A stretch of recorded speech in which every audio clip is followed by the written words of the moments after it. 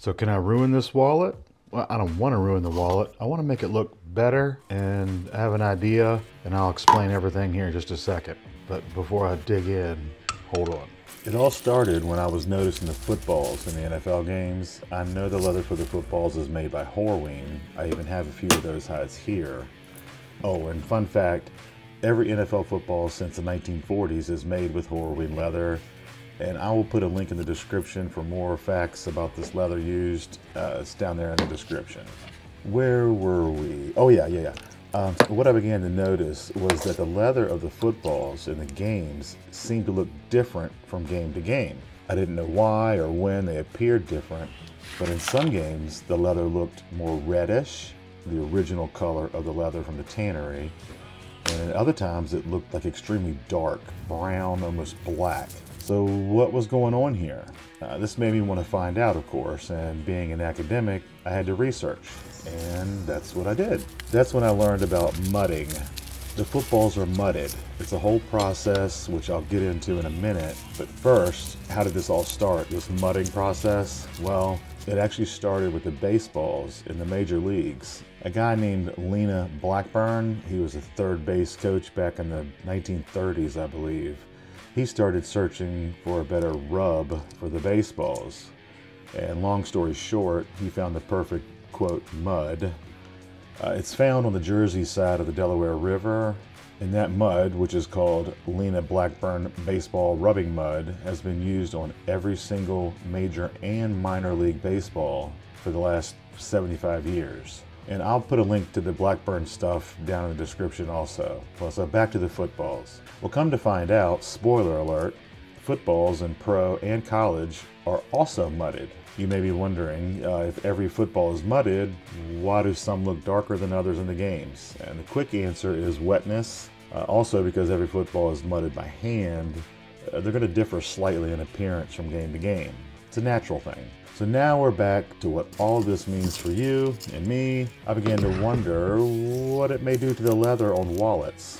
If I were to do the official mudding process on a wallet uh, made with authentic Horween football leather, um, I'd already know. Just look at the NFL footballs. So I don't need to do that. But I wanted to see an even more drastic change. What if I started with raw veg tan leather, a leather that has zero dyes in it added at the tanning process? So I made this wallet, just a new design, a single piece of leather, it's folded, manipulated, sort of like an origami, no stitching, just solid copper rivets. So this will be the final test subject. Before we dig into the good stuff, as I promised a bit ago, I'm going to give you the steps that the pros and colleges use to mud their footballs. Uh, but to save some time, I'm going to put them here on the screen, so if you're interested, just pause and screenshot. And keep in mind, however, the exact method and steps, they do differ from team to team. All right, here's what we're going to do. I'm not going to do all those steps that the pros do. I'm going to do three sample strips. I'm going to do one mud and water, one mud with balm, one mud with neatsfoot oil. This is the balm. This is the neatsfoot oil, 100% pure. Don't use the compound. And I'm gonna mark off half of these so we can take a look at before and after on each one. Let's go get some mud made.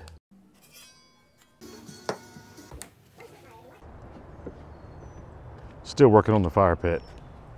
Mason's Forge. All right, let's go over here. Oh, look. This is what Chloe does to some of her stuffed animals. Uh, cute little monkey.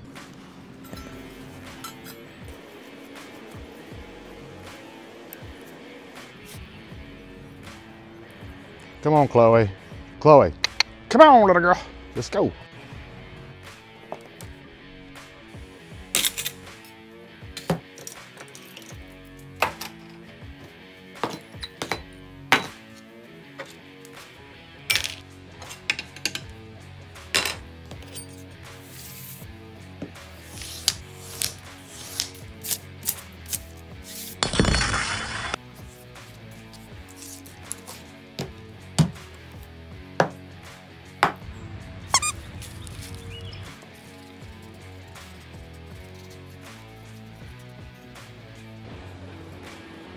Okay, I've flipped everything around so that you can see it better. We got water, balm, neatsfoot oil, the dirt, uh, coffee mix. That's for me. Ignore that. That's for me. All right, I'm just gonna mix them up real quick and then we'll put them on some test strips and get rolling.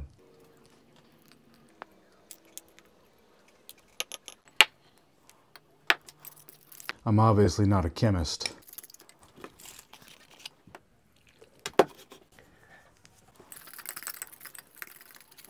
I'll mix these up a little bit better off camera.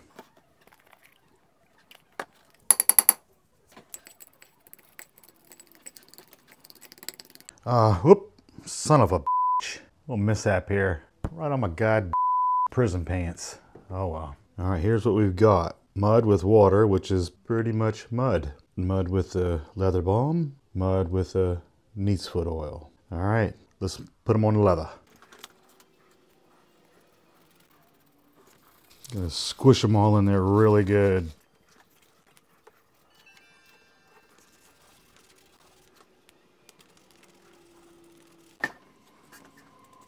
I'm getting better as I go along at squishing this in there.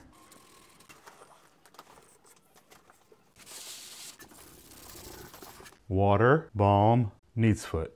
All right, we're gonna let this sit overnight, soak in and penetrate, and then we're gonna come back tomorrow and pick up where we left off, but you don't have to wait that long because we got the magic of movies, so hold on a second. Hold on, hold on, hold on, not so fast.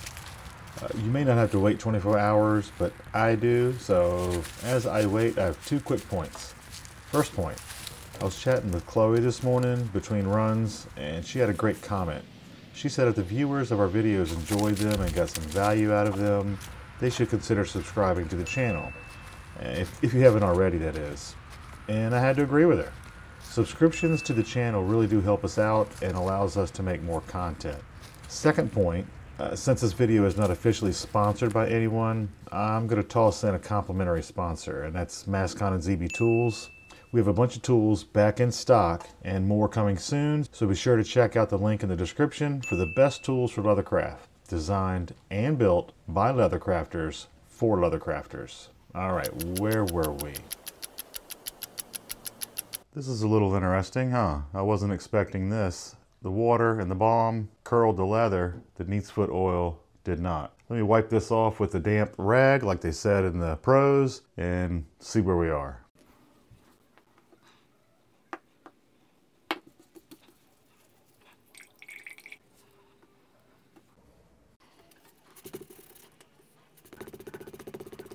Okay, there's the water and our damp line.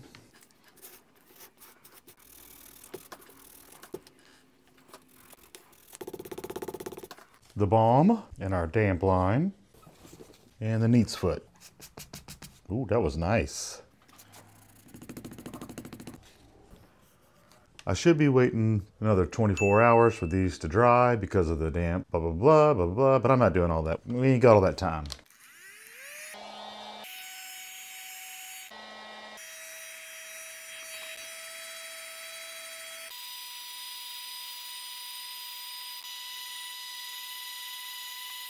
Well, I have to say I'm a little surprised. Balm, water, kind of dried quick. That neat's foot oil is looking good.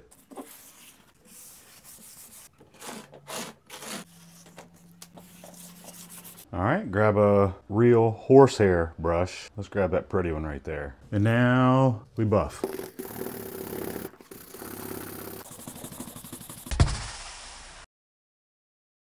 Well, I don't need much more convincing. I like that a lot. Let's put it on there. I don't want to get any mud on the inside of this, so I'm going to make a little slip thing here.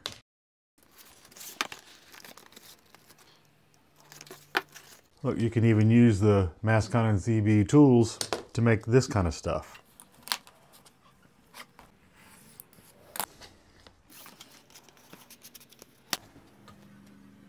And here. Let's see if we can ruin this wallet, right?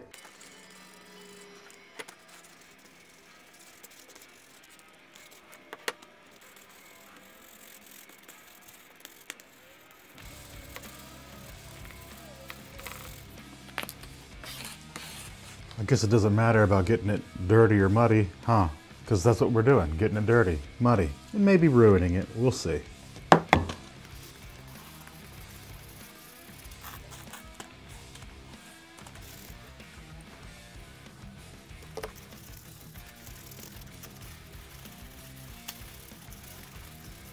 You see this? Looks like I've stained this with something in the past that you couldn't see before. It's keeping the mud and oils from going in right there. That's gonna be interesting to see later.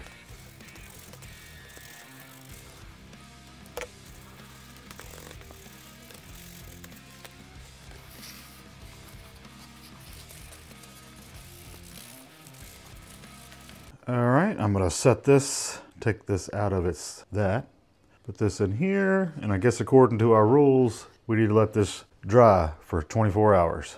We'll come back. Now I gotta clean this up.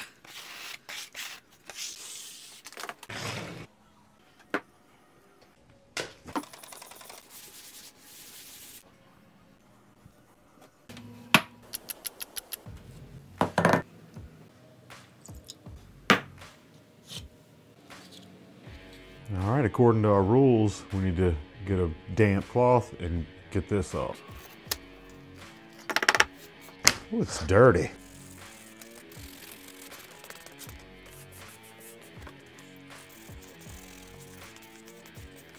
That was more wet than damp. Not gonna lie.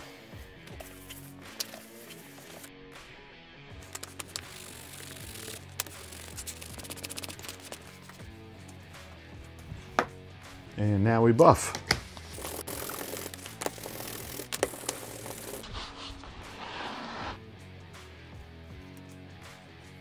Looks pretty good. Looks pretty good.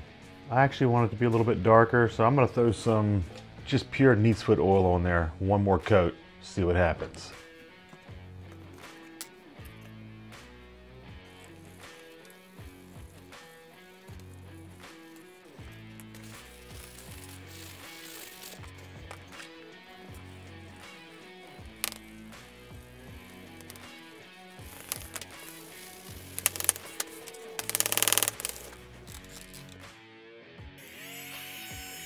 I like that a lot better. I like that. I like that I can see this. I don't know. I'm crazy. Looks good.